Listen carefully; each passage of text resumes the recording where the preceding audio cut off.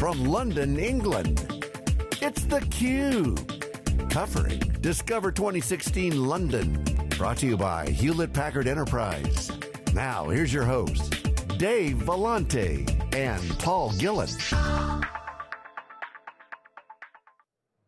Welcome back to Discover 2016. We're here at the Docklands at Excel London.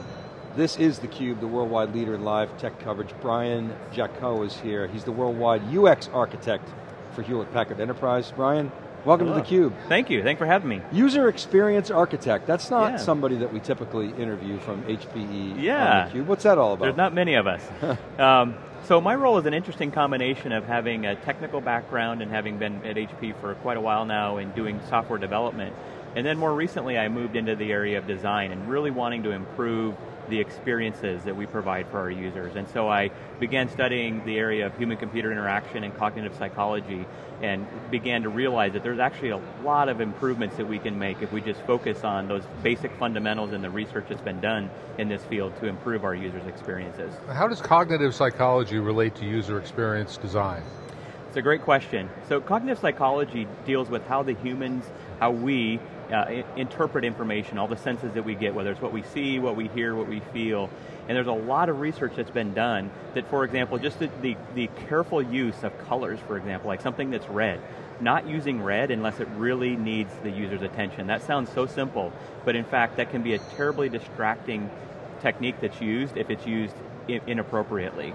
So you'll see in our interfaces when they come up, nothing is red by design unless it needs your attention. And so that's one very practical way that we use cognitive psychology to make sure that we're using the way our, our the way we're programmed, it's nothing we've been trained or nothing we've been taught to do, but the way our minds and, and brains sense information to use that where we intentionally use things like color and sound uh, only where they're needed to help our users be successful. Now, eh, when we were talking beforehand, you, you said that you're, you're working uh, a lot with the hyper-converged uh, systems, which yeah. tend to be used in branch offices by people who aren't uh, computer scientists. What are you doing with the interface uh, to, to make those rather complex systems easier to understand? Yeah, exactly. So one of the products that we're announcing today is this new version of our hyper-converged uh, infrastructure, the hyper-converged operating environment. And we've done a lot of work to make sure that that interface is simple for generalists to use. That's who we refer to. They've not been trained, they've not had any prior experience, and they don't have to to be successful with this platform. So what we've done is we've designed this interface to be approachable, it's visually appealing, but it's also very approachable, where they can come in and the data that's important to them is right there in front of them, and the tasks that they need to perform are right there in front of them. The other thing that we've done is we've leveraged patterns that are familiar to them from their consumer devices. So things that they're familiar with on their mobile phones or other devices, we can take those and applying, so it's not something they have to learn, but they can still be successful with this interface even though they're applying that learning to a new area. And Bryan, you sit in the software-defined group under Ric Lewis's organization, is that right? So That's you're, correct. You're, you're aligned with the hyperconverged, the OneView, the yep, hyperconverged the cloud 380. environments, yes. Okay, um, so talk a little bit about, let's start with actually that portfolio if we could. You're, you're yeah. a, you know that portfolio well. You so, so set that up. It's composable, it's hyper-converged, Synergy, HP's made a big play in that space. Give you us bet. the update there you as bet. best you can. And yeah, then absolutely. Let's, let's tie it then back to UX. You bet. So it all really starts with the foundation of our infrastructure, including composable infrastructure, where we have built the user experience around that to be something that is usable by a lot of different users, whether they be more, more expertise in areas like storage or networking or in the server area, but then we provide an API on that. And one of the key things with the Synergy platform and the composable infrastructure is having this unified API that lets this environment be used in many different contexts. And that's what we build upon. So our hyper-converged environments utilize those capabilities that are in HPE OneView in order to be able to compose the infrastructure. We're doing maintenance on the environment the generalists don't have to be experts there, but they can still perform these maintenance operations without having to be an expert. So they were using that technology inside, but it's not something the user has to interact with. And then we move into cloud environments, it's very much the same kind of experience. Um, today we're also announcing the combination of Cloud System 10 along with our uh, Synergy platform, and those two together provide some really great capabilities where the, the cloud operators can program the infrastructure using a very simple interface. Underneath, it's accessing those same capabilities that are provided by the Synergy Unified API, but they get an experience that's cloud-like, where they can, on demand with a self-service portal, get access to these resources very easily. So, we're seeing an evolution of what used to be called converged infrastructure. We still use that term, but Yep. it's sort of, in my mind, it goes all the way back to Teradata, kind of the Yeah. first instantiation of converged. And then Exadata was actually a project between HP, HP at the time and Oracle. Yep. Um, and that obviously evolved. And then you know, sort of VCE emerged and HP at the time, which was essentially bolting together networking, storage, and Yeah. compute. Yes. And now we've you know seen this so, sort of software-defined, Right. hyper-converged infrastructure emerge. You Yep. saw a huge you know Nutanix IPO. You guys are obviously threw your hat in the ring with with Synergy. Yep. So, is that an accurate description of the evolution? And and- how does HPE differentiate itself from some of those other guys that I mentioned? Right, that's a great question. So yeah, I think there is, there's a lot of elements that have been feeding into this all along, where we've had, we kind of went from, if you look at it from a software point of view, we went from like runbook automation, right, and, and, and orchestration of tasks. But what we found is, while you could be productive in doing that, it required a big investment in order to be successful with that. By having all the pieces that kind of our customers, when they were converging things and bringing them together, it became a pretty complex investment, or pretty complex environment and a big investment to make that work. So as you've seen the, the transition into composite or first converged infrastructure, we began to put more and more of that into the platform. So we made the firmware more capable. We added in capabilities like HP OneView on C-Class. That was another, that was where the converged infrastructure really started coming to life when we started bringing those capabilities together. And then Synergy is the place with the composable infrastructure that, that really differentiates HP. We're the only vendor in the industry that has composable infrastructure. And by using this unified API, that really is what gives a lot of our customers the efficiency and the ease of use that they're looking for, because then they can use whatever environments they're familiar with. They can use environments that if they're using um, a platform that's in our, our partner ecosystem, it's a growing e- ecosystem, it's thriving. If they're familiar with Salt or Ansible or Chef or Puppet, there's all kinds of these places where they can be efficient using the environments that they're most comfortable with. And that's an important part from a user experience point of view. User experience goes beyond just a pretty UI. It's got to be that, but it also has to fit into what the work practices are needed, and part of that means it might be that they're not using our UI, they're using automation in their own environments that they're driving, and that's a big part of what we're doing is making sure we meet the user's needs.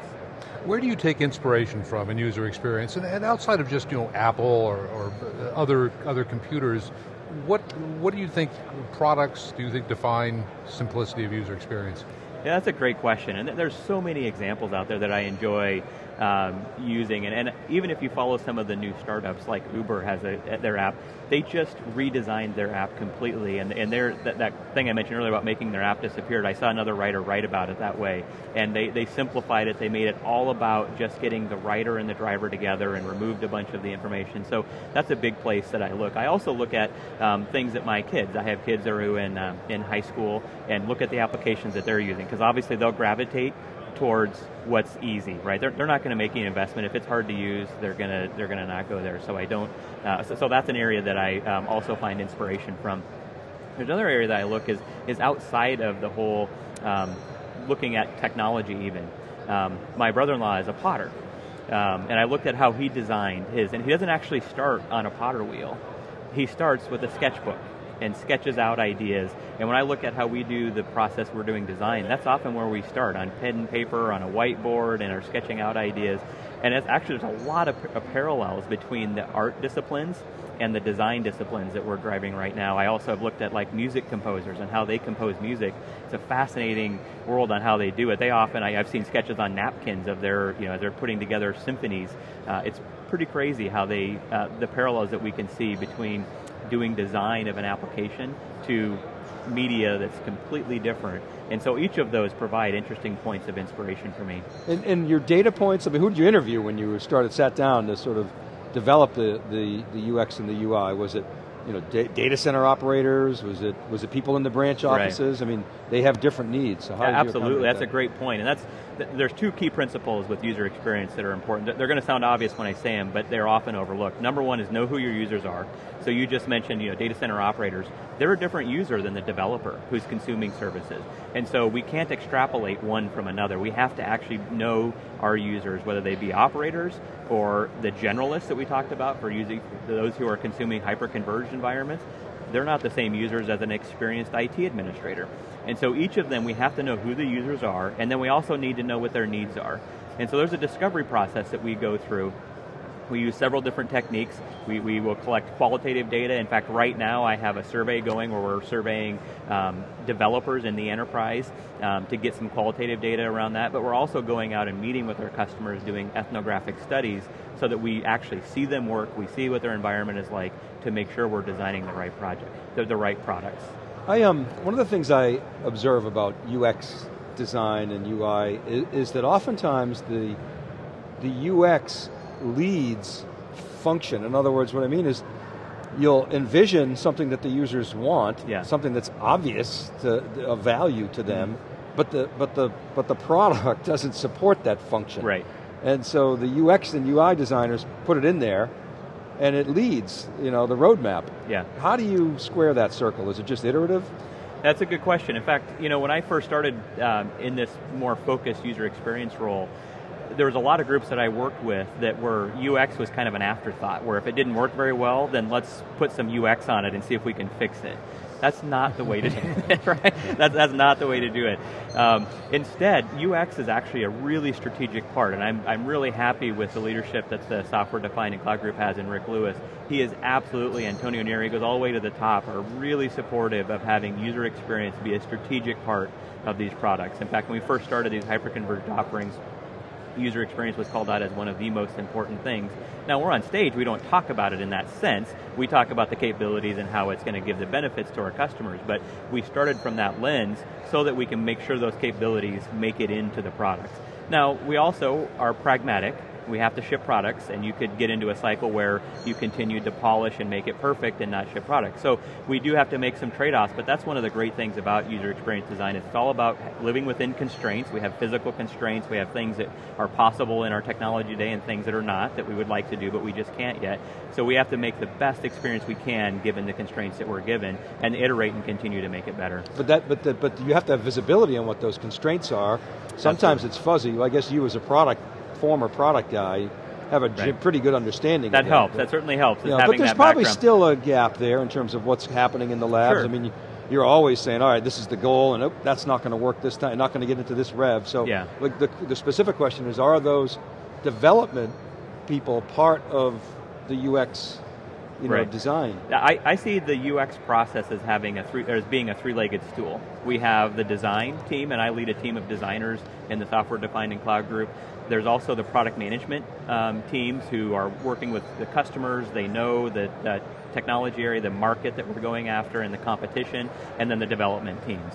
Um, all three of those are really key contingents to make sure we're doing something that's feasible. Because uh, ultimately we need something that has business viability, is technically possible, and has a, a, desire from our users. And that when you when you get the union of those three, that's what's important. In my experience, software developers tend to regard UX as being kind of an afterthought. It's it's it's pretty pictures. Uh, how do you bridge that gap and get them or get them to think of the experience from the outset? That's a, that's a really good question. And I think that's kind of a a position where we've been and we're continuing to move through that to a change that perspective, but we've come a long way. And now we're at the point where our development teams are looking to us and saying, okay, we need to do this. Can you help us design this experience that's going to meet this need um, versus it being an afterthought? So there's still pockets of that, but I would say in general, we are, we are definitely moving to a place where it doesn't work that way because um, when, we, when, we, when it's treated as an afterthought, it never looks good. You know, the lip, lipstick on a pig analogy comes yeah. to mind. That you know, that's just not what the, what the end users want. Why do we have such a, a an emotional reaction to design? I think of you know, Apple introduces the menu bar, and yeah. the, the, the net goes crazy uh, with with controversy, with people arguing about whether this is a good or a bad thing. Why yeah. is this so visceral? You know, that's a good question. I think part of that is it's, it's our human nature that we all use applications and we all form our own bias and our own opinions. And so we can all, therefore, become, you know, our own kind of, if it was like, in, in my ideal world, here's how I would want it to work. And, and if, if our desires don't match up with what, what the companies actually do, or if they change something around, then it's disruptive, and we tend to not like that. You can look at every vendor when they've changed something, you know, the transitions that Microsoft has gone through on their desktop environments, every one of those is met with, with pretty visceral responses, exactly. as you've said. Um, even I was reading a study that there's a, a major vendor out there, when they make a change to their user interface, they know that their customer satisfaction scores are going to go down, and they expect them to be down for two months before they start to climb back up. So this is not just a perception, it really does. I mean, customers any kind of change, it takes a little bit for our users to get over that. But if we've done it well, then yeah, there's going to be the initial shock of, oh no, you know, you, you, you changed this on me. Um, but if we make them more productive and make it easier to use, then even if they did know how to use it before, they can be successful again. Well, a lot of that too depends on whether you raise prices. I mean, if they think of Salesforce, you know, introduced Lightning and raised prices, and everybody was upset at the, having to learn a new interface. Yeah, right. ultimately, though, yeah. it's you know clearly. I mean, people want clean, they want want simple. But you talked about Yep. the three sort of stakeholders: the, the Yeah. design team, the product management, and the development team. You got to get those guys. You're a global organization. You got to get those guys together. Right. And so, how do you practically do that? Do you have these sort of weekly sprints? Right. Um, I mean, late night meetings. I mean, how do you practically get those three constituencies Yeah. to pay attention, not be checking email and Right, you know, absolutely. focus? So I've got a project we're, we're leading right now, kind of the next thing that we're working on, and I have multi, multiple meetings per week with those three contingents to make sure we're all on the same page. So part of this right now, it's early, so we're in the research phase. So I mentioned that research project we have going. But the other thing we're starting to move into is getting more product definition around it, and it's all three tied at the hip. So it has to be intentional, it doesn't happen by accident. It has to be something that we set up and we are doing that to make sure we're aligned. Because otherwise, if you get those three legs of the stool out of uh, whack, then you end up with not getting to where you need to get. And then when do you bring the execs in? You know, when do you show Ric Lewis and Right. Antonio? Because as Paul said, you know, the, some functional design, they may say, I don't like it. Right. When do you introduce it to the senior yeah. guys? So I, I'm a big fan of being open and transparent, and, and the leadership that we have in this group now is responds really well to that. Um, so we show things earlier than maybe people would be comfortable with. I would rather that and know if there's something that there's really wrong with our direction versus getting too far down a path that's not going to work and be aligned with our strategy. I've talked to a lot of hyper-converged vendors over the last couple of years, and I can't remember a one of them that said that user interface was a was a differentiator. Is Yeah. that going to be different for? HPE? Well, you know, in, in Ric Lewis's spotlight session that's coming up, he's going to be making the announcements about the, the hyperconverged environment that we're uh, we're up giving a, a really big update to that we're announcing today. And on the stage, he's not going to say it has a, a great user experience as far as those exact words, but he is going to talk about being simple, reducing costs for management, making making the system easier to use and to maintain to lower those costs.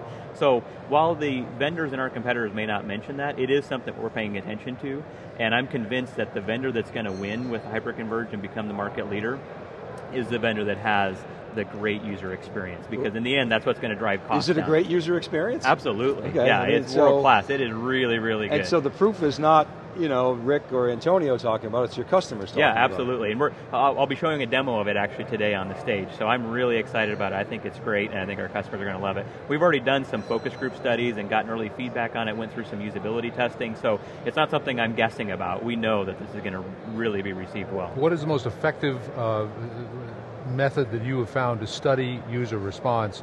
Focus groups have their weaknesses, of course. Uh, uh, observing people's behaviors on the web is, Yeah. is another way. What, what, Yeah. what, what works? So there's, I don't think there is one way to do it. You have to use multiple methods to be able to do that. Um, one way that we do it that I find is very effective is once you have something that users can use, then we have a usability lab that's down in Houston, and we'll bring in users and we'll record them. So they're outside the company, they've not been exposed to this before, but we record them, we can see their facial expressions, we can see their screen, we can record what they're saying, so we know what they're doing. That's a really effective way. Now there's downsides to that one because it's limited in the number of people that we can expose that to because there's pretty high overhead in doing getting all that set up. So, but we also know from research that if once you get between five and seven people going through, which is not a big number, you'll get to about 80% of the issues. If you have major issues, you'll get to them, you'll discover them through that technique. So that one is really effective. If you want to drive up more more quantitative data, then using analytics that are built into the applications where they can send that you know anonymous feedback um, back, that's another good way. Then there's a, there's others as well that we can use to make sure we're measuring it. But that's one way that has been very effective, and we've been successfully using that for quite a while. All right, Bryan. Well, thanks. We'll, we'll leave it there. Congratulations on uh, on getting to this point, You and uh, we're excited to hear uh, this afternoon on the on the keynotes. Thank you. Me too. All It's been my pleasure. Okay, we'll be right back right after this. This is theCUBE. We're live from HPE Discover 2016's in the Docklands at London Excel. Be right back.